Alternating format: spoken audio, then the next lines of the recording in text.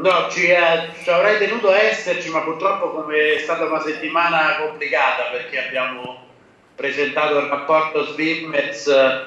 eh, lunedì scorso e che per noi è la, diciamo, l'iniziativa più importante dell'anno, inevitabilmente poi è stato difficile allontanarsi da Roma. Eh, dicevo, è importante per noi esserci come Swimmets perché, perché siamo molto interessati alle attività che sta portando avanti il parco eh, perché riteniamo che la collocazione strategica di pantelleria eh, al centro del Mediterraneo, nonché le esperienze che sta portando avanti il parco eh, siano esperienze rilevanti non soltanto per Pantelleria o per la Sicilia, ma secondo noi rappresentano eh, un'esperienza che può essere un po' di guida in qualche misura di eh, una riflessione più ampia di quale può essere il ruolo che eh, diciamo, alcune aree del mezzogiorno che per la loro caratteristica appunto sia di localizzazione geografica sia di specializzazione produttiva di, eh, e anche di tradizione di storia accumulata eh, possono appunto rappresentare proprio un'esperienza che può diventare insomma, una riflessione generale sulle prospettive di sviluppo sostenibile nei prossimi anni. E proprio su questo ci, insomma, tenevo a mettervi parte insomma, della riflessione che insieme a, a Salvatore Gabriele, al Parco e al Ministero dell'Ambiente stiamo facendo su una serie di iniziative che vorremmo fare eh, con Pantelleria direi e da Pantelleria più che su Pantelleria. Ehm, eh, una riflessione più ampia sul ruolo del capitale naturale e in qualche maniera sulla identificazione di un, modello, di un nuovo modello di sviluppo all'interno della quale appunto proviamo a ribaltare eh, diciamo, la letteratura recente che ha fatto diciamo, della perifericità un elemento di debolezza. Una perifericità rispetto a una, diciamo, a una idea di sviluppo che volgeva le spalle in qualche misura al Mediterraneo pensando che appunto l'unica possibilità di far crescere il mezzogiorno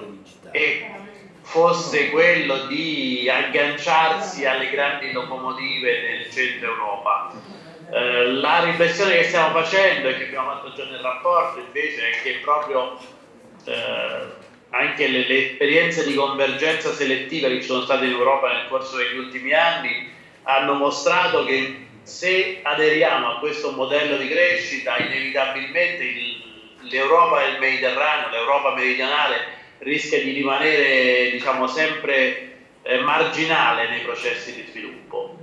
Eh, la riflessione che invece vogliamo fare, cogliendo soprattutto le opportunità diciamo, che si stanno costruendo nell'ambito una costruzione di un nuovo modello di sviluppo che punti, parta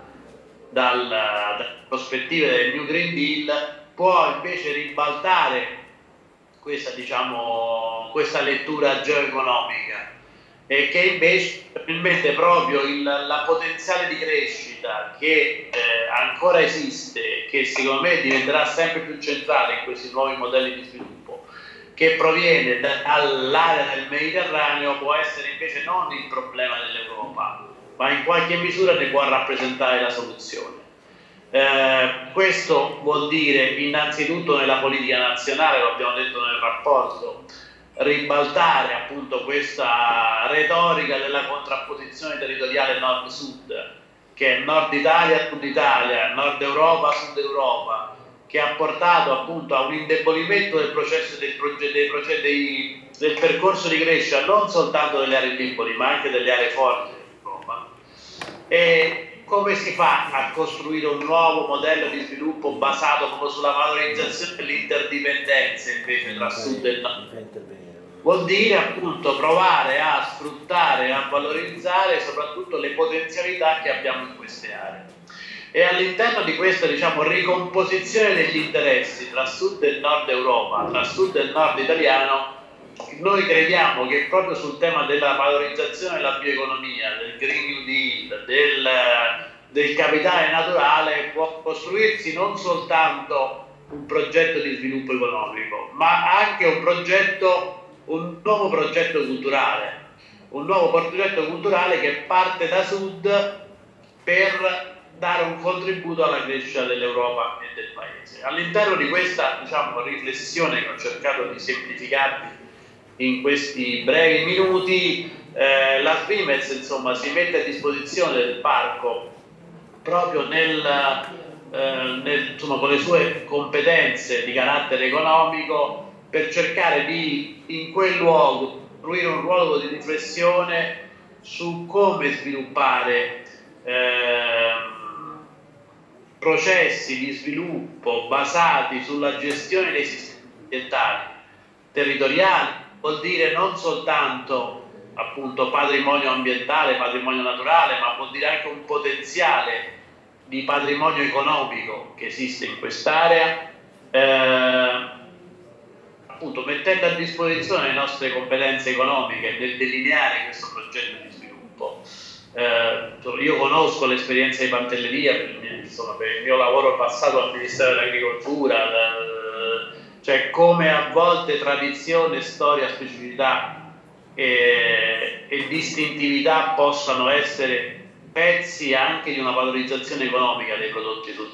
dei prodotti nel, nel mondo. Eh, quindi come la valorizzazione della biodiversità e della sostenibilità siano un asset economico. Questo, vi dicevo, richiede senz'altro un'analisi di ricerca anche attraverso, eh, noi abbiamo un modello econometrico che ci può consentire di valutare anche quantitativamente gli spazi di crescita e di sviluppo, ma secondo noi riguarda anche un grande progetto culturale. Per questo pensiamo che nelle azioni che dobbiamo mettere in campo nel corso del 2020 eh, non solo dobbiamo fare ricerca e analisi, quanto più eh, anche diciamo, seria e quantitativa, ma anche dobbiamo avviare, un, utilizzando proprio il, il valore simbolico di Pantelleria, il coinvolgimento dei giovani europei sulla definizione di questo, di questo, diciamo, di questo nuovo sogno di, eh, di contribuire appunto al rilancio dell'economia europea partendo dall'esperienza del Mediterraneo, partendo dalle sue produzioni, dalla sua cultura, dalla sua tradizione, dal patrimonio appunto eh, naturale, dal, dalla biodiversità appunto come, come concetto di, che consente un maggiore adattamento dei percorsi di sviluppo e anche aprendo una riflessione sulla componente sociale della transizione energetica. Eh, questo è un altro punto secondo me di grande interesse su cui vi invito, a, invito anche voi a aprire una riflessione il, per, diciamo, il, il processo di innovazione e di globalizzazione degli ultimi anni ha senz'altro portato crescita e sviluppo, però probabilmente ha fallito nel consentire che questo sviluppo non ampli le disuguaglianze. Cioè in qualche misura la, eh,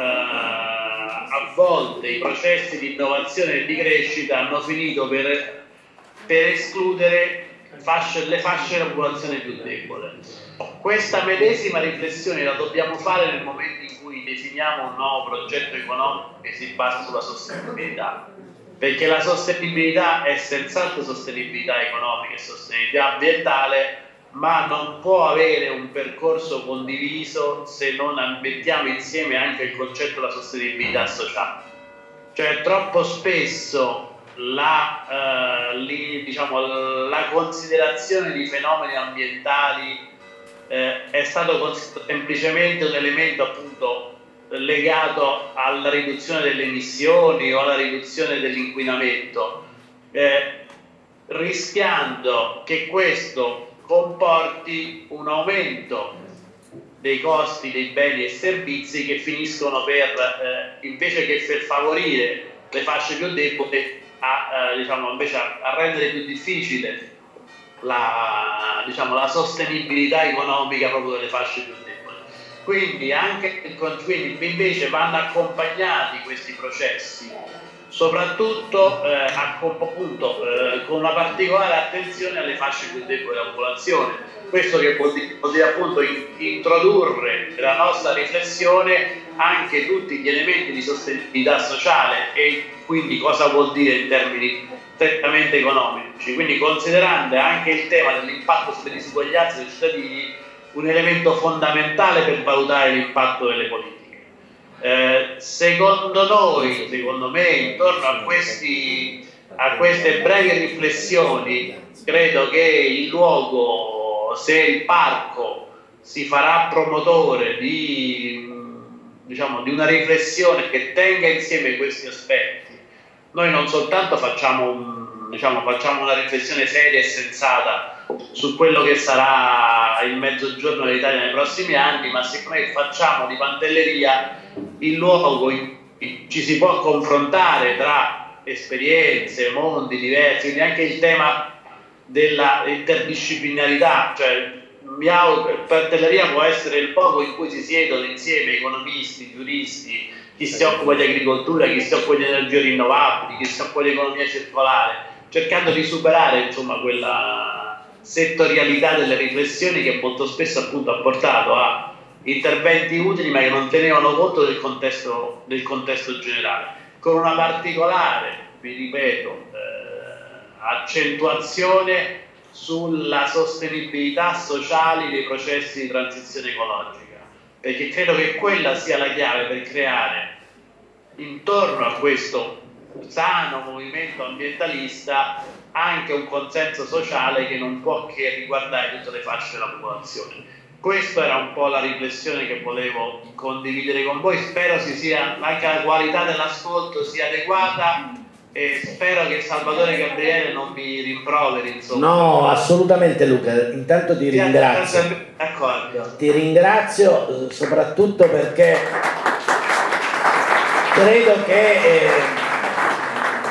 i tanti che in, questi, in, queste due giornate stanno seguendo e sono anche intervenuti diversi relatori, ma anche i, i nostri concittadini che stanno intervenendo a questo, a questo seminario col, colgono anche nelle tue, nelle tue parole una condivisione di una rete più complessiva che il parco sta mettendo su a partire da queste due giornate, dove una stratificazione che, passa, che parta anche dal basso, che tu chiami oggi la necessità di colmare il divario delle diseguaglianze, parte anche proprio dalla necessità di parlare oggi dal basso delle sostenibilità ambientali, a partire da quelle che sono eh, le iniziative eh, che su questo territorio, proprio sui temi della sostenibilità, vogliamo, vogliamo costruire. E qui tu troverai un parterre che dentro il modello, in una visione più complessiva di tanti soggetti, di eh, università,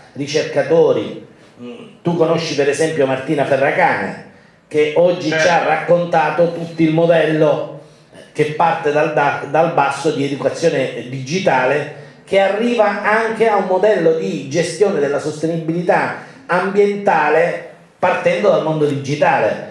partendo e raccogliendo le istanze anche dei bambini. Quindi anche un modello di gestione dei flussi della conoscenza che parte soprattutto dal, dal basso. Quindi da questo punto di vista una rete che ha bisogno di eh, trovare un forte raccordo e io credo che il ruolo a partire dal compito che il Ministero dell'Ambiente e io ti ringrazio tra poco si collegherà con noi anche eh, la, la Giarratano ci ha dato di costruire il prossimo rapporto eh, ambientale insieme allo Svimez e, eh, e insieme ai vari soggetti, alle, alle varie università presenti già sul territorio, questo ci, può, eh, ci, ci permette diciamo, di ampliare il raggio delle nostre conoscenze e soprattutto poter sperimentare un modello di gestione del territorio che vada oltre anche eh, Pantelleria. Quindi questo è un po' i, colgo perfettamente le tue parole, io credo che sia un po' la scommessa di questo laboratorio sul territorio che noi vorremmo, vorremmo costruire insieme a voi e ai tanti ricercatori eh, che eh, stanno lavorando con noi, a partire dall'ultimo intervento prima di Martina del, della Bocconi che sta elaborando il piano di sviluppo socio- socio-economico, a partire dall'Università di Palermo che sta tirando fuori il piano di gestione forestale, eh, c'è tanti soggetti, tutto il tema della sostenibilità in campo geologico di un territorio che ha diverse conformazioni all'interno, quindi c'è un, un lavoro che in qualche modo può diventare, arricchire un bagaglio di conoscenze e poi anche sviluppare una visione unitaria di quello che è un concetto di sostenibilità che dovrebbe essere quello che tutti oggi parliamo, che la eh, nuova Green Deal su cui in qualche modo si creano le aspettative del, del futuro mondo che ancora non conosciamo. Quindi grazie, eh, grazie, per, grazie, grazie, a te, grazie, grazie Luca. Salute e buon lavoro a tutti. grazie.